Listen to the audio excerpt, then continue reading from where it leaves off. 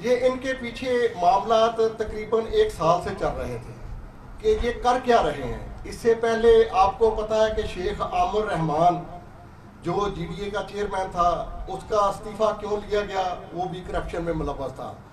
अरबों रुपए की करप्शन उसी दौर में हुई उसके बाद इस बंदे का नाम, जिसका नाम अली अशरफ मुगल है, ये चेयरमैन जीडीए आया। इसमें तकरीबन अरबों हा की करप्शन और मतलब वो सामने आ गई। और इसके दौरान मैंने कहा, जब मुझे दोस्त कहने लगे कि इतनी बड़ी करप्शन हो रही है, आज यूनस, तुम तो कहते हो कि मैं इमरान खान का सिपाही हूँ। और ये तुम क्यों नहीं गुजरा वाला में कंट्रोल कर रहे हैं? तो मेहरबानी उन दोस्तों की, सरकारी अफसरान की, जिन्होंने मेरे साथ तामन किया। मैंने उनको बोला कि यार, ये अरबों रुपए की करप्शन हो रही है। ये कहाँ हो रही है? मैं मतलब कोई मुझे इसका सरकारी जबानी कलामी तो मिल रहा था। लेकिन अमली तौर पे कुछ नहीं हो रहा था। तो अल्हम्दुलिल्लाह, अल्लाह ताला ने मेरे दोस्तों के ऊपर कर्म किया, हमारी फैमिली के ऊपर कर्म किया कि हम उस मिशन में काफ़ी हद तक कामयाब हो चुके हैं।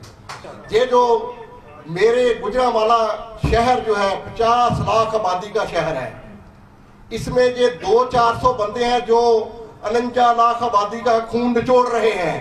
तो भगौड़ो, तुम्हारे मोहल्ला को गिराएँगे हम। इंशाल्लाह ताला।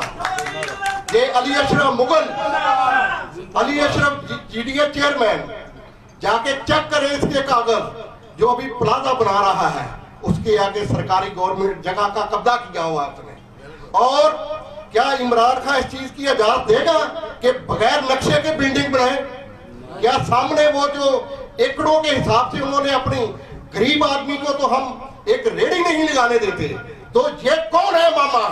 कि ये मतलब एकड़ों के हिसाब से मेरी सरकारी ज़मीन को बले क्या आप इस मैं मीडिया वाला को और पीटीआई के दोस्तों से क्या हम इसकी इजाज़त देना चाहिए हमें? इंशाल्लाह ताला इनके खून से हम निकालेंगे। और मेरा एक मिशन है कि हम जो 80 परसेंट आवाम है जो गरीब है मिडल मैन है उसको तो दफ्तरों में हमें धक्के मिलने देते हैं। तो ये इन दफ्तरों में जीडीए का जो दफ्तर है, जो चैम्बर का दफ्तर है, क्या आपको पता नहीं, मीडिया वालों को पता नहीं, ये गरीबों के खून से बना हुआ है। हम कब्जा माफिया को, डाकुओं, लुटेरों को पकड़ने जा रहे हैं। जबकि पकड़ने जा नहीं पकड़ चुके हैं। इंशाला ताला, अब मैं दरखास्त करता हूँ अदारों को कि खुदारा ये कापियाँ सब पहुँच चुकी हैं। तो गुजरावाला के अदारे वाले बाद में गिला ना करें कि यूना संसारी ने हमारी वर्दियाँ उतार दी।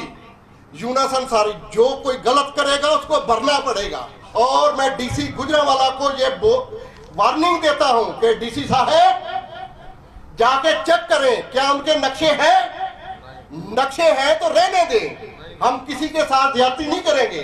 अगर नक्शे नहीं है तो फौरी तौर पे उनको गिराना शुरू करें। ना करेंगे तो अमनो अम्मा की आपके ऊपर जुम्मेवारी होगी और ये आवाम वो महल गिरा देगी।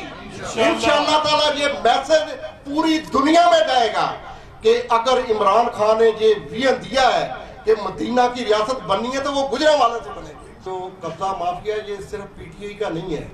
चैम्बर के अंदर कौन लोग बैठे हुए हैं? आपको पता है ये पीटीआई और नून लीग मुश्तरका मामला है। इनके ऊपर, इनके खिलाफ हम एक जहाद कर रहे हैं और इन ताला आवाम की ताकत जो है ना, उनको आर्डरों की ज़रूरत नहीं होती। आवाम जो होती है, उनको आर्डरों की ज़रूरत नहीं होती। आवाम का समुंदर खुद रास्ता बना लेता है। और इन ताला ये मैं उम्मीद करता हूँ वजी अला पंजाब को से और ये मेरा ख्याल दो चार दिन के अंदर इसके ऊपर कार्रवाई होगी।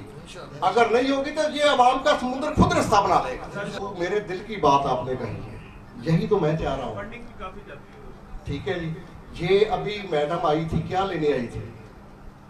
कुछ लोगों का मैं नाम नहीं बताना चाहता। ये खुरम दस्तगीर और जितने नाम थे इनके बिल थे शबाज गिल को डॉक्यूमेंट दिए गए। क्यों नहीं अमल हुआ? उनको माल मिल गया। बस मैं मैंने मैंने खबर ब्रेक की थी आज से तीन आप कह रहे हैं ना तख्तियों का मसला कोई नहीं है। ये आज से तकरीबन तीन चार माह पहले में आपकी अखबारों की जीनत बन चुका है कि कुछ गुजरा भी इधर से जो दिहाड़ी लगा के निकल गए हैं। खबर ये देखे मेरा शबाज गिल है इसका नाम मैं लेता हूँ। ये क्यों नहीं इनके केस पुटअप हुए? किसने करवाने थे? इमरान खान के पास यूनस अंसारी तो नहीं बैठा? कि जब वज़ीर अला गखड़ में आया था तो यूनस अंसारी ने क्या कहा था?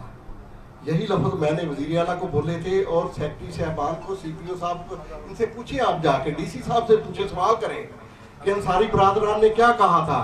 कि वज़ीर अला इस तरह पंजाब नहीं चलेगा, इस तरह पाकिस्तान नहीं चलेगा, ये मैंने बोला था। मेरी मीटिंग के ये इल्फाज थे मैंने कहा कि आपको मैं नहीं ऐसे चलने दूँगा कि गरीबों का पैसा आप नहीं लूटने दूँगा। तो इंशाल्लाह ये एक जंग है। ये रातों रात तो इसके मामले हल नहीं होंगे, इंशाल्लाह ताला। लेकिन उम्मीद करनी चाहिए कि बहुत जल्द इसका मामला हल हो जाए। आपको खबर ब्रेक कर रहा हूँ। पिछले दिनों आपने मेरी एक तस्वीर अखबारों के ऊपर छापी थी। जो वज़ीर अला के साथ हम अंधेरे जेब में बैठे हुए थे।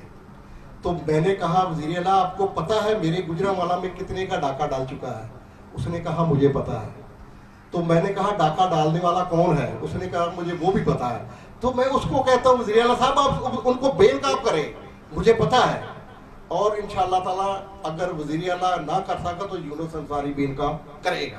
मैं इमरान खान साहब से भी आज बात करनी चाहता हूँ। खान साहब हमने अपना जानो माल आपके नाम लगा दिया है।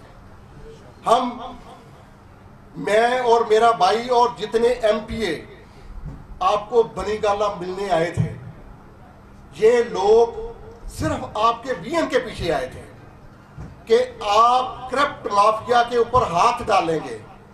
ये दो साल हो गए अशरफ अंसारी मेरे साथ बैठा है। अल्हम्दुलिल्लाह हम लगाने वाले लोग हैं, हम किसी से लेते नहीं। हमने मुल्क की खिदमत की है, हम कोई डिमांड नहीं, इमरान खान साहब करते।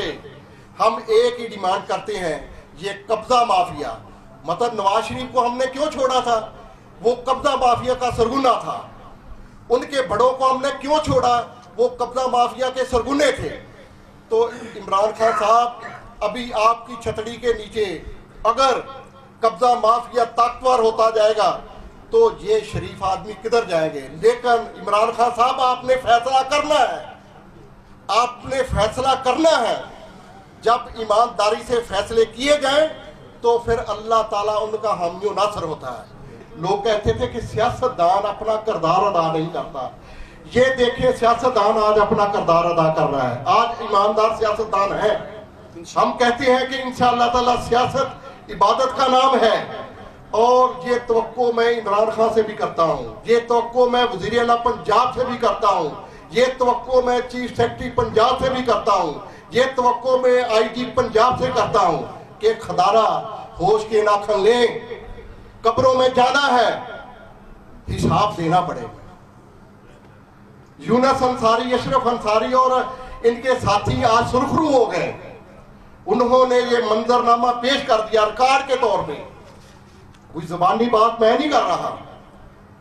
ठीक है जी? ये एप्लीकेशन मैंने किसी मुहर्र को नहीं दी। ये एप्लीकेशन मैंने प्राइम मिनिस्टर ऑफ़ पाकिस्तान को दी है। ये एप्लीकेशन मैंने चीफ सेक्रेटरी पंजाब को दी है। ये एप्लीकेशन मैंने वज़ीर पंजाब को दी है। तो अब इनका काम है। इन ताला जब रोज़े मैशर या कब्र में मुझसे पूछा जाएगा तो अगर इनको लगाम ना डाली गई तो खान साहब, मैं ज़रूर बोलूँगा कि मैंने और मेरे साथियों ने फ़र्ज़ अदा कर दिया था। खान साहब, अगर इसके ऊपर एक्शन ना लिया गया तो कब्र में हिसाब आपको भी देना पड़ेगा।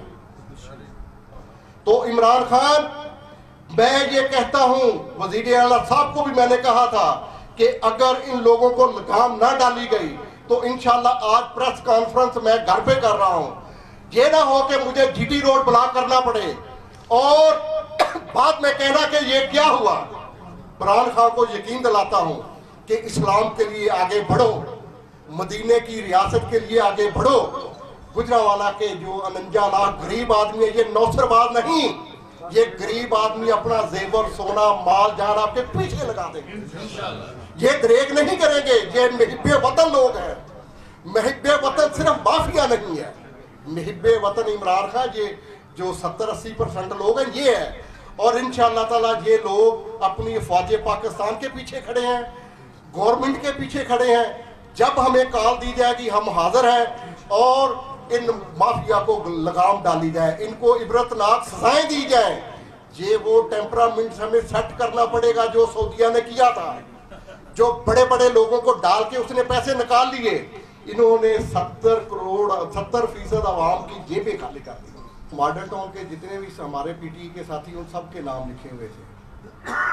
तो जैसे बाजवा साहब ने कहा कि हमें वो खारिश का पता होना चाहिए कि क्यों ये तख्तियाँ तारने का मसला क्या हो क्योंकि ये अशरफ अंसारी का हल्का है, उसी के नाम की तख्तियाँ लगनी हैं और ये हमारा अबाई हल्का है। दूसरी बात मेन जो कहने वाली थी कि रात को जब हमारे दोस्तों ने हमें कॉल की कि हमें बताएँ कि हम इन ताला इनकी ईंट से ईंट बजा देते हैं जीडीए का दफ्तर हम अखाड़ देते हैं। ये ऐसे मेरे दोस्तों ने और मैं उन सब का शुक्रगुजार हूँ।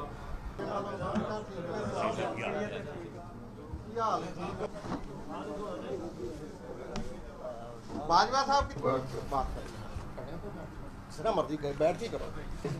और ये इनको बहुत बड़ा क्रेडिट जाता है।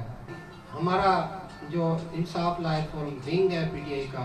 जो आज हमने फ़ाइल की है, उसकी काफ़ी में मौजूद है। हम जीते जागते मुसलमान, बंगला